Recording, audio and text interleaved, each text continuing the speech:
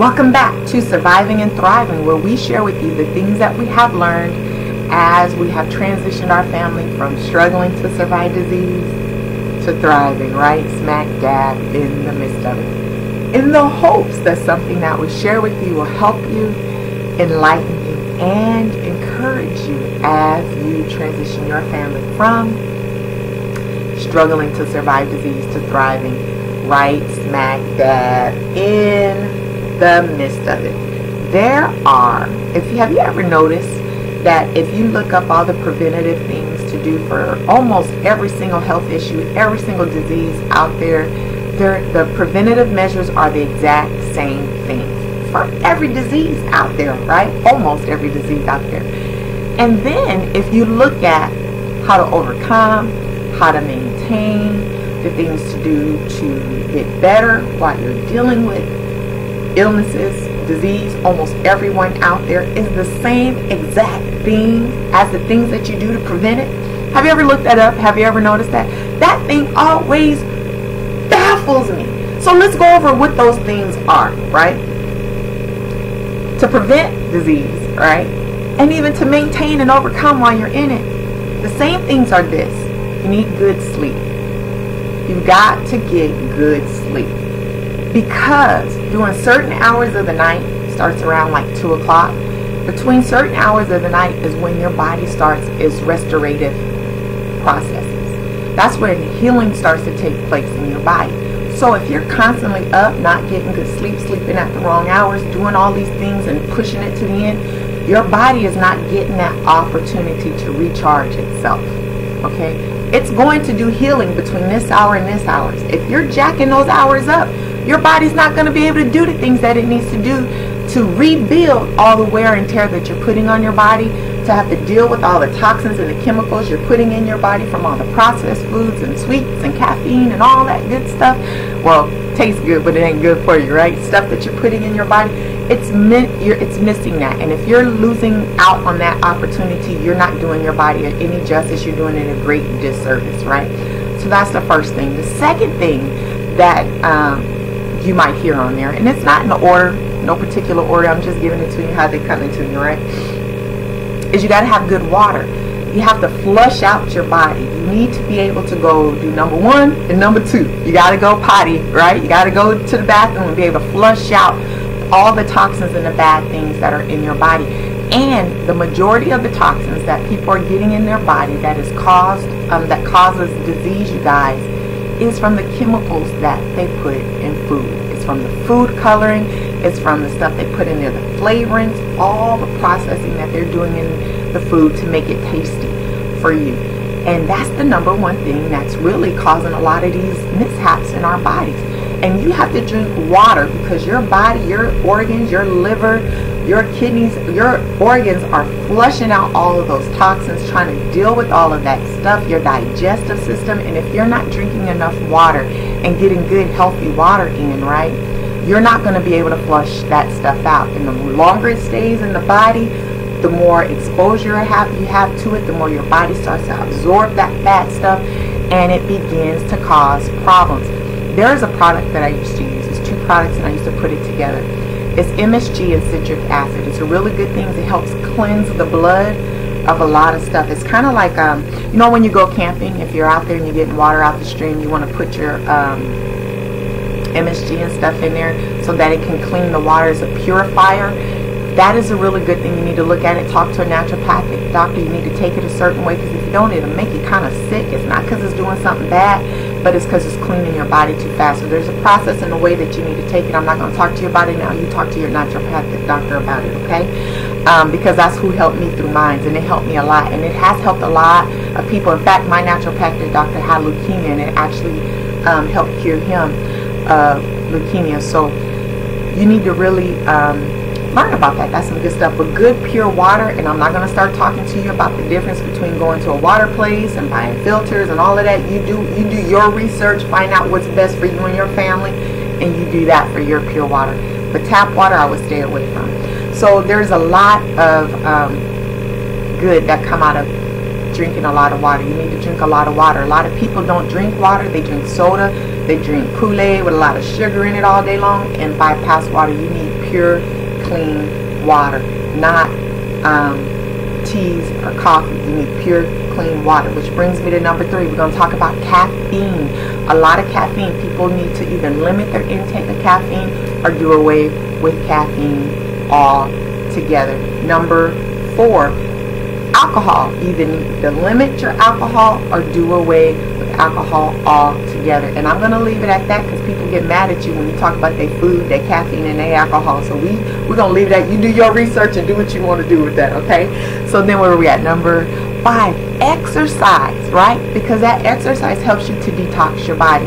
When you sweat, you're detoxing. It helps to get um, circulation going because every aspect of your body needs blood. And a lot of times when you start dealing with issues that stem from an organ, it's because the circulation to that organ is not where it needs to be. And exercise helps you to get that circulation. You got to move them joints, keep your body flexible. I've talked about that in a lot of other videos on some of my first Friday videos and some of these regular Thursday videos. So you can go back and look at all of that and, and, and see that for yourself. But exercise is highly important. You got to keep your heart healthy, keep that circulation and that flow going. And a lot of diseases deal with poor circulation or causes poor circulation. And that exercise will help alleviate a lot of symptoms, keep you keep you feeling spry, keep your vitality there, keep you mobile and flexible and all that good stuff, right? So number six, the next thing is good foods. Oh my gosh, good foods is so important. It's amazing how many people don't eat vegetables. Even in this, you know, faddish time of being vegan and all this other kind of stuff, people still don't eat a lot of vegetables and you need vegetables for life. You need living food to put living things in your body dead foods put dead things in your body, right? So if you're eating, you know, bread out the store that's been processed, that's some of the worst things that you put you can put in your body versus like if you're eating Ezekiel bread, which is a sprouted bread that has a lot of life in it. If it's, you know, broccoli, it has life in it. If it's ah, I don't know, I don't eat a lot of processed food. If it's um I do know, but I got to think about it. If it's um cookies, there's no nothing living in it. There's no living foods in it. It's all processed foods. It's all chemicals. It's all um, a lot of fake dead stuff. There's no life in it. Dead in produces dead. Life in produces life, right? So life in, life out, dead in, dead out. Real simple math. You know, it's it's an easy thing to do. You it, don't take a rocket scientist to figure it out and out, right? So you got to get real good, healthy, lean meats in your body, healthy meats it's expensive to eat healthy, but it's actually more expensive to not eat healthy. It's going to cost you more in the long run in your life and bad health than it is to pay up that dollar up front to get it. That's how I look at it. You do what you want to do with it. I ain't arguing with you. You know, if you don't like it, stop watching the video, go somewhere else. I'm just giving you the news, so don't, you know, don't kill the messenger. I'm just telling you what it is, right?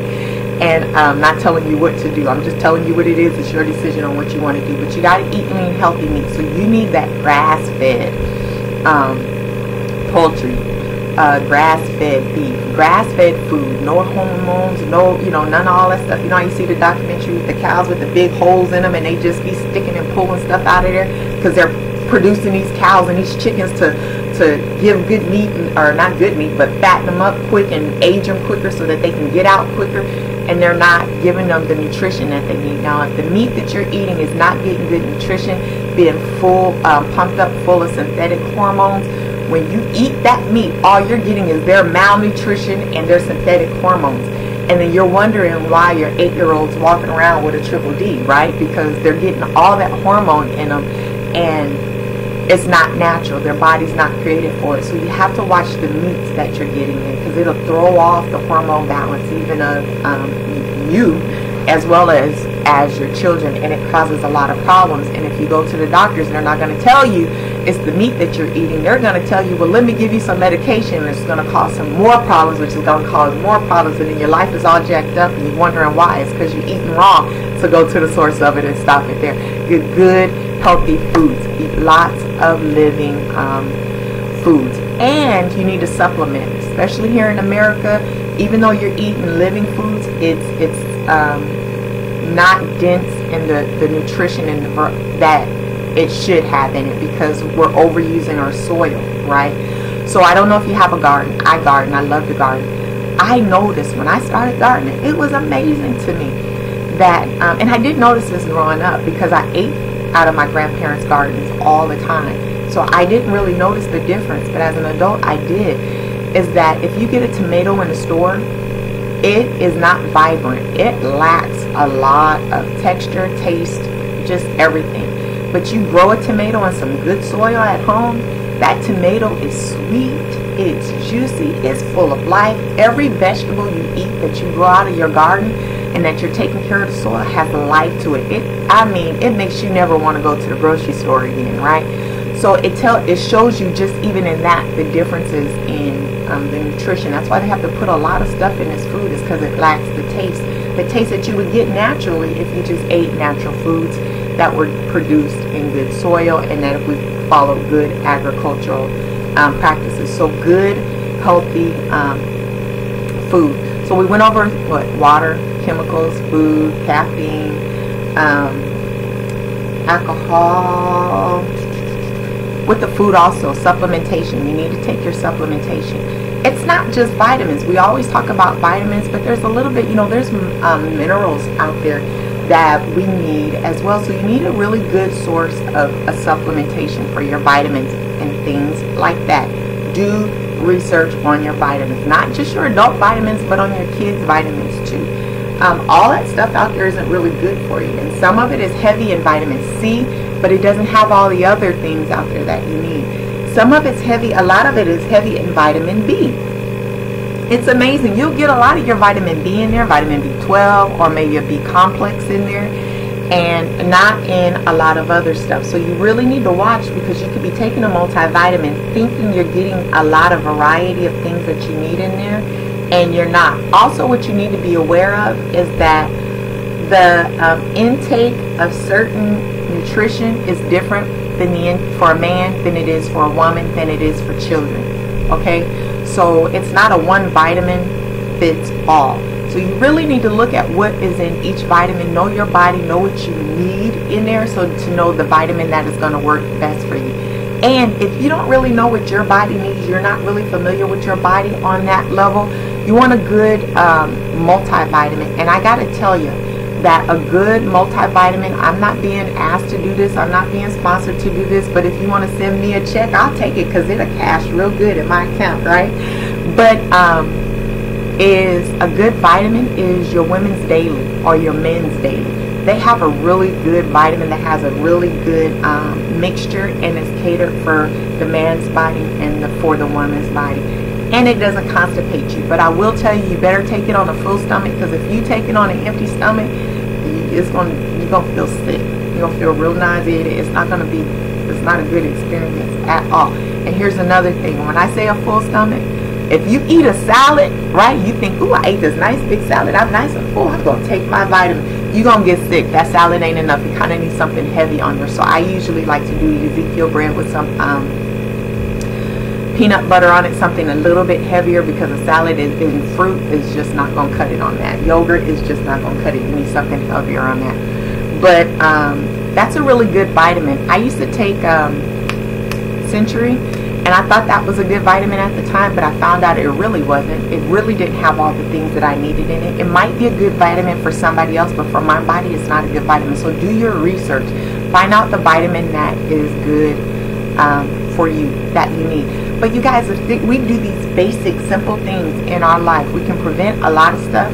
We can help ourselves once we're in stuff to get out of it, to maintain it, to do away with it, to whatever your goal is while you're dealing with health issues.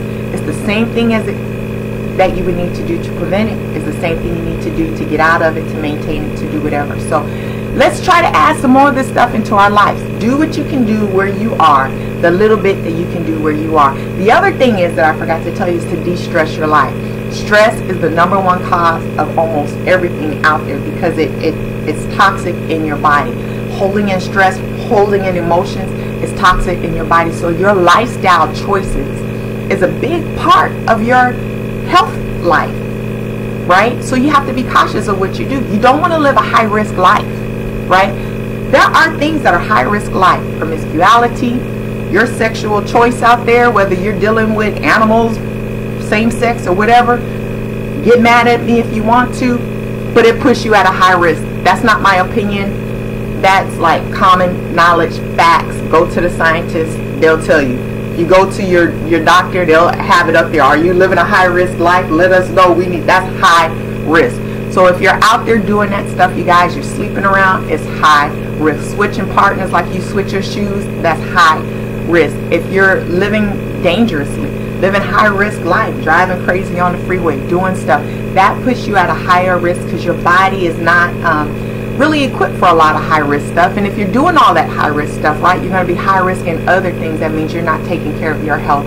You're, you're, you're living on the edge, but you got to de-stress, detoxify your life. You got to let stuff go, forgive people, move on. Watching all them scary movies and you all oh, that'll get you. All that anxiety, all that stuff comes from living that stressful, high risk life. You got to learn how to let a lot of stuff go. So let some stuff go and be free, be healed, be whole. Get out of your stuff, but more importantly, enjoy your life right where you are.